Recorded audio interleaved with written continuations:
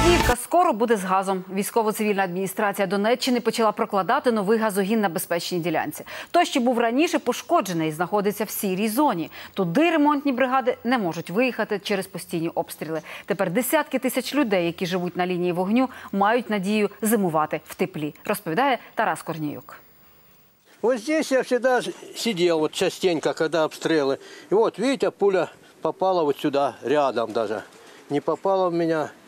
Бог, Бог отвел. Родина Глазунових мешкає у старій частині Авдіївки, що найбільше постраждала від обстрілів бойовиків. Раніше цей будинок люди опалювали газом, та нині не знають, як грітимуться взимку. Запаслись дровами, адже вугілля дороге. Їжу готують на газі з балона. Коштує 500 гривень, та його вистачає лише на два місяці. Вся надія на будівельників, які вже розпочали прокладати новий газохін від Очеретиного до Авдіївки. Нам только остается молиться и надеяться, что в зиму не придется никуда э, выезжать, а будем, В власному будинку, да. конечно. Вот здесь вот, вот точка врезки. Я вот это все вручную копается, здесь кабель связи.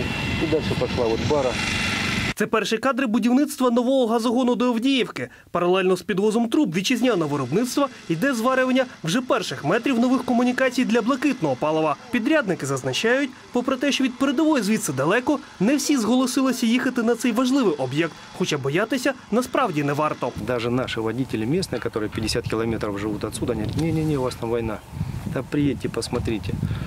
Ну, только вот это единственное. У руках у Сергія спеціальний пристрій, який він шукає підземні труби інших комунікацій, аби під час прокладання нового газогону не пошкодити їх. Раніше цим полем пройшли сапери та запевнили, ділянка від вибухових предметів чиста. Сейчас очень сложно здесь э, производить какие-либо работы, но стараемся выполнять, чтобы обеспечить газоснабжение Авдеевки. Рятівного блакитного палива в Авдіївці та шести прилеглих селах чекають більше 12 тисяч людей. Обласна влада запевняє, роботи закінчать до перших морозів. Прокласти треба майже 15 кілометрів газогону. Це обійдеться у 58 мільйонів гривень. Половину фінансує державу, решта Авдіївський коксохім. Ми розуміємо, що якщо ми не розпочнемо зараз будувати, то ми не встигнемо до опалювального сезону.